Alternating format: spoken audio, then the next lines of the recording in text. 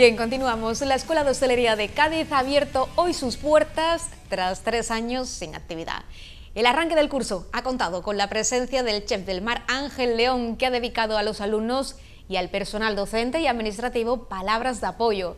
¿No es así, Tamara? Así es, Ángel León ha dado palabras de apoyo a toda la comunidad educativa de la Escuela de Hostelería de Cádiz en el día en el que se vuelve a reanudar el curso. Además, ha anunciado que su restaurante A va a acoger alumnos de esta escuela el próximo verano para que realicen sus prácticas. Ángel León ha considerado que la formación que se imparte en esta escuela es muy útil y muy necesaria en el sector. Es el primer curso que arranca tras la integración del centro en el Servicio Andaluz de Empleo para impartir una formación destinada a la inserción laboral de personas desempleadas. Esta vez, además, la Escuela de Hostelería contará con certificados de profesionalidad, según incidían desde la Junta. Hoy le damos la bienvenida a 15 alumnos de la especialidad de sala y a otros 15 alumnos de la especialidad de cocina. Una formación que van a recibir en estas instalaciones que se han puesto a punto para que ofrezcan todas las garantías necesarias. Unas instalaciones donde van a recibir una cualificación de excelencia. De estos 30 alumnos, cuatro proceden de la etapa anterior formativa del centro. El cocinero Ángel León, que ha participado en la reapertura del centro, ha anunciado que su restaurante a Poniente acogerá durante el verano a alumnos en prácticas.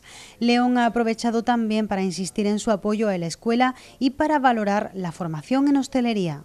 Para mí es una alegría muy bestia ¿no? que, la, escuela se abra de nuevo. Eh, yo estoy con la escuela, por supuesto, estoy con los alumnos, estoy con con todo el mundo, sobre todo porque de alguna forma necesitamos, ¿no? Necesitamos profesionales de la restauración en, esta provincia. Eh, no saben la cantidad de, gente que pasa por Aponiente en prácticas al año, casi 100 personas que vienen de diferentes países del mundo eh, y solamente tenemos casi un 10-12% de, de, de, practicantes de Andalucía. ¿no? Entre los 30 nuevos alumnos destaca la paridad de género. Dada la demanda de personas interesadas en participar en las clases, un número de personas ha acudido a las puertas del centro para ser testigo del comienzo del curso, también para docentes y personal administrativo. Y mañana se inician los actos con motivo del Día del Niño, una celebración muy parecida al Halloween americano que se celebra desde hace 40 años en los barrios y que trajo desde su localidad un sacerdote muy querido por los vecinos. Este fin de semana se vivirá en los barrios el tradicional Día del Niño, una iniciativa que empezará este viernes con una gran pitada para llamar la atención de los vecinos y recordarles que tengan preparadas sus chucherías. El sábado 1 de octubre, desde las 7 de la mañana, comenzará un pasacalle de los niños acompañado de sus padres por las calles de los barrios, cantando las canciones míticas y que recuerdan a los pequeños y mayores una serie de valores que deben de imperar en nuestra sociedad y que han preparado con los monitores. Para que los niños disfruten, bailando, aprendiéndose las canciones típicas, y para disfrutar de una tradición que se hacía aquí desde que eh, muchos años atrás y para que nunca se pierda.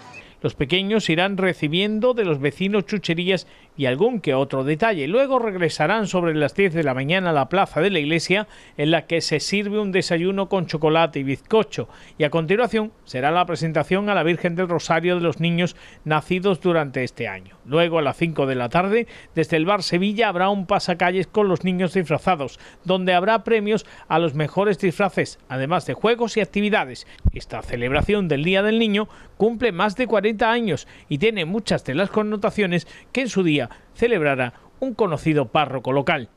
Recordemos hoy especialmente al padre Juan José Olite, que fue el iniciador de esta fiesta del Día del Niño ya hace más de 40 años y que perdura en el tiempo, en el corazón y en la mente de todos los barreños. Así que en los barrios se viste de gala para recibir a este Día del Niño desde el día 30 de septiembre hasta el 1 de octubre. En el puerto de Santa María Cruz Roja y Ayuntamiento han organizado la actividad Cuídate Corazón, una jornada que se ha desarrollado esta mañana en la calle Luna con motivo del Día Mundial del Corazón. La actividad ha difundido el cuidado de este órgano, con el foco puesto sobre todo en los mayores de 65 años.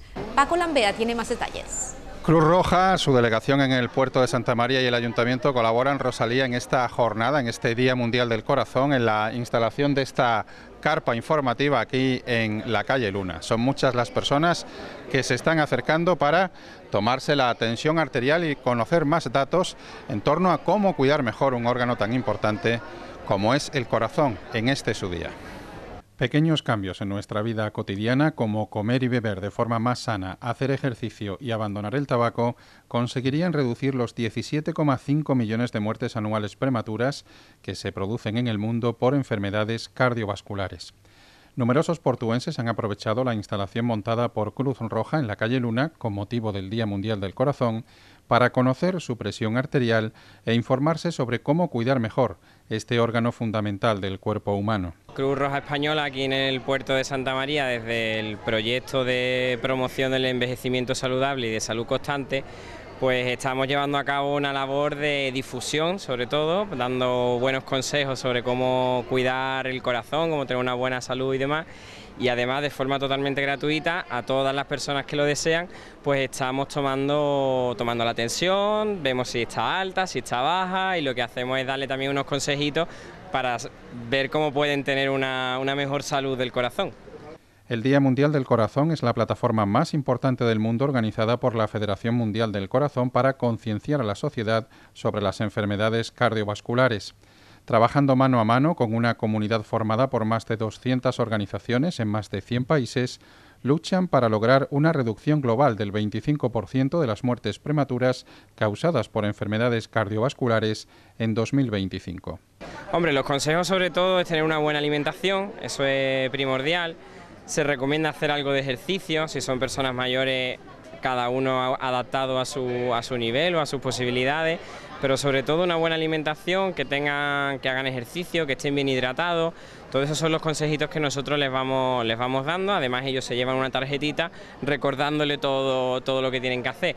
Y muy importante que la gente se tome la atención, que las personas se tomen la atención de una forma más o menos constante, porque nos estamos encontrando con personas que llevan años sin, sin tomarse la atención y ese es el mejor, el, el primer indicador que nos puede decir cómo está nuestro corazón. Desde la carpa informativa se ha subrayado que la presión arterial excesivamente alta es el factor de riesgo más importante para enfermedades cardiovasculares. Se conoce también con el nombre de asesina silenciosa porque no produce signos ni síntomas de alerta y muchas personas desconocen padecerla. Y ahora conectamos con Guillermo Ortiz porque, si no me equivoco, hoy me trae algo que gusta mucho.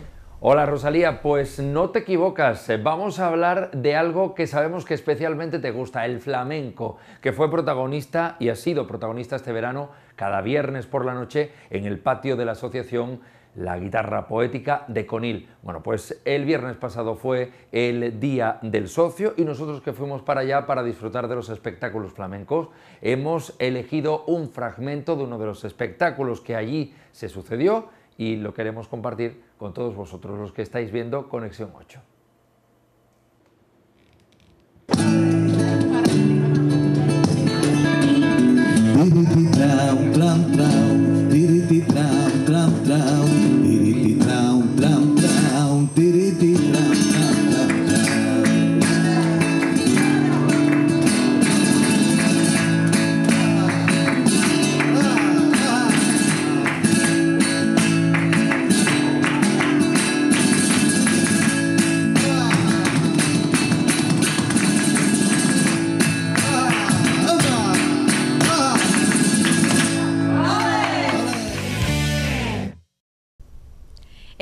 Que tomar decisiones y la que tomó meses atrás el equipo de gobierno socialista de Arcos de llevar la feria al centro de la ciudad recibió sus críticas, pero la realidad se impuso ayer. La feria es todo un éxito. Arcos está de feria, recordamos. Hola Rosalía, veranillo de San Miguel, calor, feria de San Miguel, Arcos y mucha alegría. Hasta la Toña y la Malena creo que se han venido a la feria de Arcos. Dolores García, hola. Hola, ¿qué tal?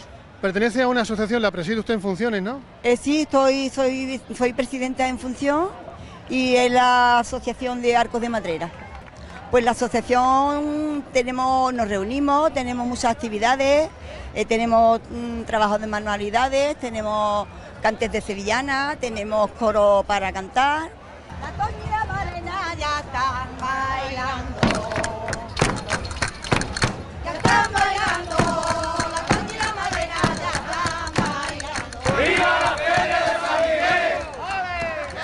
Feria de San Miguel y representación municipal, alcalde, hola. ¿Qué tal? Buenas tardes. Con invitados, ¿no? ¿Quién ha venido a vernos? Sí, hombre, tenemos al delegado territorial de Medio Ambiente en Cádiz, a don Ángel Acuña y a Pepi Moreno, que es la directora del Instituto Andaluz de la Mujer, a los cuales le agradezco su presencia en Arco para compartir una comida con los compañeros de partido aquí en Arco de la Frontera, en nuestra caseta. ¿No conseguiremos que en el IBEX 35 se sienten más mujeres? Bueno, pues ese es el trabajo que tenemos que hacer, es decir, que realmente al final esa igualdad sea real y efectiva, es por lo que trabajamos diariamente, muchísimas mujeres y muchísimos hombres, porque también hay muchos hombres comprometidos con este trabajo. Desde su delegación, ¿hay alguna prioridad especial en estos días que haya que destacar? El verano no se va, no se va la calor y eso es bueno o malo. Bueno, terminando ya los últimos días en los que el plan Infoca pues está todavía muy tenso y muy congestionado, porque es cierto que que ahora en cualquier momento pues podemos tener una situación complicada, pero bueno, esperemos ya en cuanto pasen estos días que empiece a llover algo y ya esa situación se, relaje. Estamos en la Peña Arcense Emilio Oliva, 30 años de historia y 7 años sin toro. José Rodríguez Morales, presidente de la Peña, 7 años sin toro. Es un pueblo el que se merece que en la feria haya algo, un festival taurino, una corrida, algo. No siete años ya sin toro, cuando la verdad es que en todos los pueblecitos de aquí de, la sierra eh, se celebran siempre cositas taurinas y Arco no sé lo que pasa, pero que, llevamos ya condenados siete años sin toro aquí en Arco. Yo le pregunto al alcalde, yo le escuché la inauguración y se quejaba de que había oído muchas críticas por los cambios y al final las críticas se transforman en que el público asiste y llena el recinto ferial y además están encantados con las modificaciones que hemos ofrecido. ¿no? Por lo tanto, completamente orgulloso del trabajo, del sacrificio que hemos llevado a cabo en, un ayuntamiento tan limitado en las cuestiones económicas y en el que hemos conseguido un recinto ferial más amplio, con más contenido de mayor calidad y con mucho menos gasto. Hola, soy Laura Gallego, quiero mandar un saludo y una invitación muy importante a una feria muy bonita que casi como la mía, la de Arcos de la Frontera. Vengo a pasármelo bien y espero que vosotros vengáis también a disfrutar de esta feria. Un besito muy fuerte y nos vamos viendo. El octava Fer Chiclana 2016 arrancó anoche con la inauguración a cargo del alcalde. Hasta el domingo la céntrica calle La Fuente se convertirá en una de las citas más destacadas, donde la cerveza será la gran protagonista. Todo ello regado con multitud de propuestas musicales, desfiles y una ludoteca para niños. Nos lo cuenta Juan Luis. Adelante. Bueno, por lo prometido es deuda. Estuvimos en la inauguración del Oktoberfest Chiclana 2016, una de esas citas en las que disfrutar de la cerveza, de las salchichas Frankfurt y de todas aquellas cosas que muchos tenemos en mente que disfrutan en una cita tan importante como la que se celebra en Alemania. Bueno, se ha intentado recrear ese espíritu. En esa inauguración nos faltó el alcalde que cree que es interesante potenciar este tipo de eventos de cara a la hostelería y también al comercio. Este es el ambiente que se respiraba en la inauguración del Oktoberfest Chiclana 2016, la fiesta de la cerveza que llega hasta el centro de Chiclana, emulando una de las citas festivas más importantes de Alemania.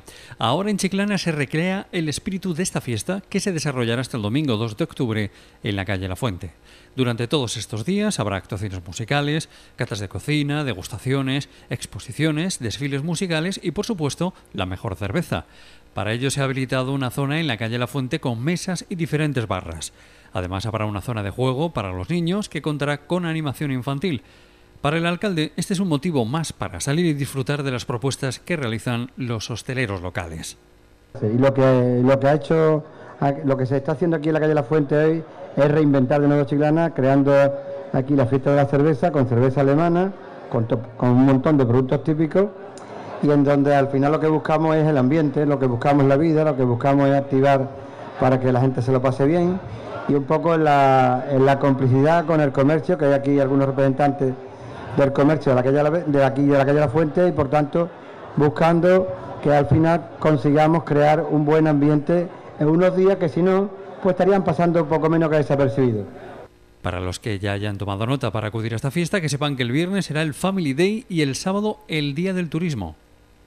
Durante estos días vamos a ofrecer, aparte de cerveza alemana, vamos a ofrecer eh, actividades, actividades musicales, actividades eh, gastronómicas y durante estos días vamos a estar degustando y vais a poder comprar todo tipo de productos alemanes, bueno, unos cuantos de, ellos, ¿no? El Bresel, el Codillo, vamos a tomar eh, Frankfurt de tres tipos.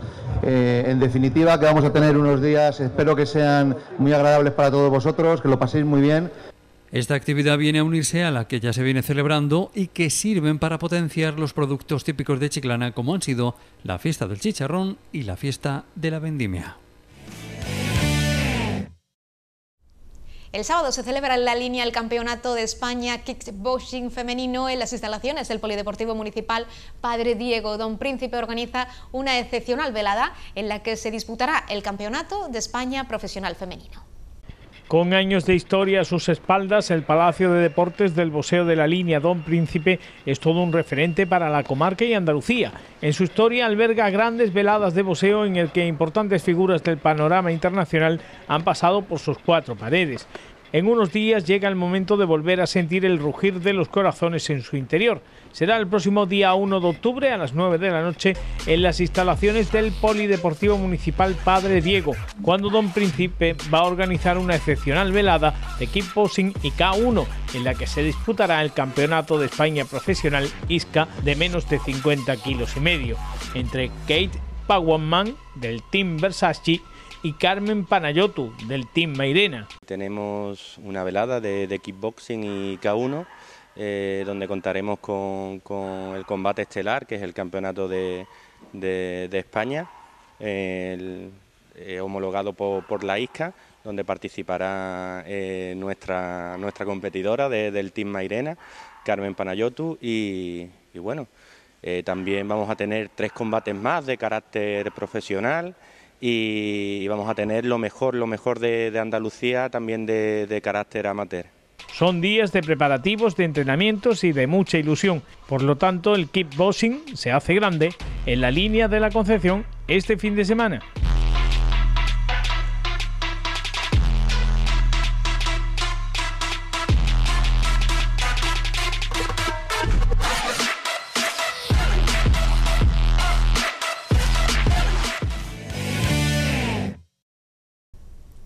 Y ahora nos vamos rápidamente hasta Conil, porque Guillermo se encuentra en pleno acto de entrega de premios del concurso fotográfico Villa de Conil, que cumple ya 17 años. Adelante, compañero. Pues eh, Rosalía, fíjate dónde me encuentro, en la Sala Cultural Santa Catalina, donde hoy hay una exposición, una exposición fotográfica que se empezó a gestar hace ya bastante tiempo con eso de la feria y hoy se ha fallado pues los premios del jurado, unos premios que los tenemos aquí a nuestras espaldas y que también tenemos a los premiados, premiados cada uno de ellos en una modalidad distinta, como por ejemplo el primero de ellos, su nombre. Fernando Moreno. Fernando, la modalidad en la que ha ganado eh, Fernando. fotocomposición fotocomposición con esa botella. Cuéntame un poquito cómo surge la idea de hacer esa fotografía.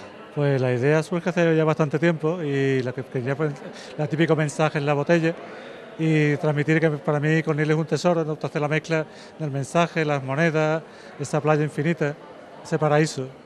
Pues ha merecido uno de los premios, al igual que Conil y su gente, esa fotografía que intenta reflejar pues la idiosincrasia de Conili. Nosotros pues tenemos con nosotros a Michael, que ha sido el autor de esa fotografía. Michael, ¿contento? Sí, muy contento. Muy contento. ¿Tardaste mucho en hacer esa fotografía, en encontrar al protagonista? No, de verdad, es muy espontáneo. Sí, muy espontáneo. Un vecino mío y ya la oportunidad me encanta porque además esto recoge muy bien Conil, ¿no? Porque ahí lo tenemos, Michael, que es de, Inglaterra, de Inglaterra, viviendo aquí en Conil y ha recogido a la perfección pues cómo es Conil y cómo son su gente. Y tenemos por aquí al, vamos a decir al más afortunado porque Manolo te has llevado dos premios. Uno por un patio que parece realmente sacado de, de una escena de una película y otro por lo que realmente fue todo una película en esta feria que fue El tobogán gigante del que todo el mundo habló. Bueno, el primero está claro que surgió porque era espectacular, pero el segundo, ¿cómo encontraste ese rincón de Conil? Ese rincón de Conil precisamente iba yo e- esa mañana a la Caza del Mar a, a renovar la licencia de pesca y pasé por ese patio y digo, como te dije antes, digo, aquí se va a grabar una película, se va a hacer un videoclip, algo se tiene que hacer porque esto no es normal como está puesto. Porque es que estaba hecho pa- para eso, para hacer una película, cualquier escena cinematográfica. Y no me lo pensé y le eché la foto. Y ahí está, doble premio que se ha llevado Manuel y Inés que está aquí por su hijo, ¿no? Por mi hijo, claro. Exactamente. Inés, ¿su hijo dónde está para no recoger este Está premio? en Alemania. En Alemania. Pero antes de, antes de irse, captó una imagen preciosa de Conil. Es preciosa, él hace unas fotos muy bonitas. Sí, ¿no? No es, no es la primera foto bonita que ve de, de su hijo. El año pasado ganó otro premio. O sea que ya es aquí conocido. Sí, vamos, yo creo que sí, porque él es de aquí, de siempre aquí en Conía, ¿ves? Bueno, Antonio Camelo, Camelo es, es de aquí, de Conil. Y Rodríguez. Y Rodríguez también, ¿verdad? Ahí está. Bueno, gracias. Eh, y por supuesto tenemos eh, a el ganador, que el ganador de, esta fotografía, que es de película. Pero yo tengo que decir que eso es verdad, porque Fernando, cualquiera que vea esa fotografía, se lo estará preguntando, ¿esa foto es real? Sí, to- totalmente real. Tú vas a un día, una noche de verano, a las que no haya luna, a las tantas de la mañana, a la zona donde está la Torre Castilnovo, que está ya bastante lejos del pueblo y no, no hay tanta contaminación lumínica y se ve perfectamente la Vía Láctea. Bueno, es verdad que la cámara, la cámara al poner exposición saca más estrellas de las que uno ve a simple vista. Eso, también, eso también es verdad. Que realmente hemos mejorado lo que vemos a simple vista. La cámara, digamos que acumula un poco la luz y, y saca más estrellas de las que tú ves, pero vamos, la Vía Láctea se ve. Bueno, Ya no estamos acostumbrados a verla porque estamos en sitios que están muy iluminados y mira al cielo y, y se ven muchas menos estrellas. Bueno, pues Fernando, que ha sido el ganador de esta fotografía, Rosalía, no ha sido la primera vez que se ha llevado un premio. Ya tiene alguno por ahí en su haber y es un fotógrafo, pues, eh, vamos a decir, curtido en la materia. Y nosotros, eh, pues, con estas imágenes nos vamos a quedar. ¿A ti cuál es la que más te ha gustado, Rosalía? ¿Alguna de ellas? Muchas gracias, Guillermo. Difícil escoger alguna entre tantas y tan buenas, por cierto. Nos quedamos ahora con música, con la voz de Pasión Vega, que llega al Teatro Falla, en el que será el penúltimo concierto de su gira. Pasión por Cano. Con ese trabajo les dejamos hoy. Hasta mañana.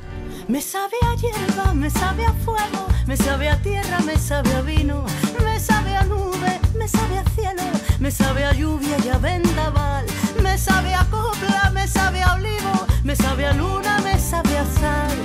A eso y todo revuelto, a eso me sabe tu corazón. A eso y todo revuelto, a eso me sabe tu corazón. No era la luna, ni era una estrella, que eran tus ojos que me miraban, ni un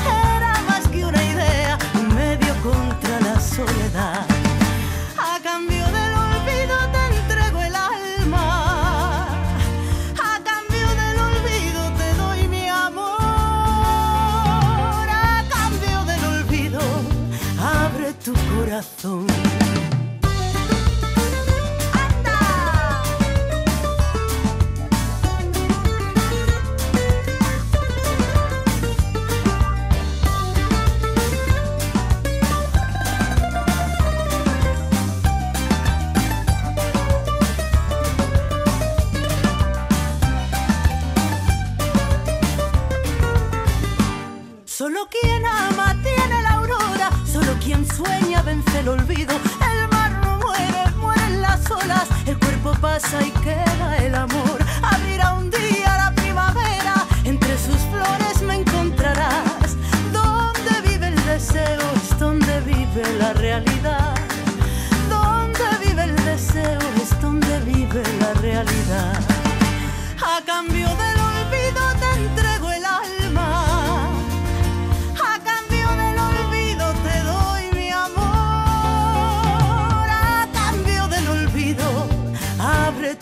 Ay, corazón, ¿por qué me causas tormento. Ay, corazón, si sabes que yo te quiero, vente conmigo niña, que hay luna llena y el mar está quieto. Y en un barco de velas por la bahía de los luceros. Ay, corazón, que me embruja me